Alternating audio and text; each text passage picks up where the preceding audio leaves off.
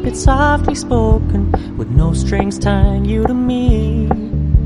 I'm happy in your company with no emotion, cause my love deserves to be free.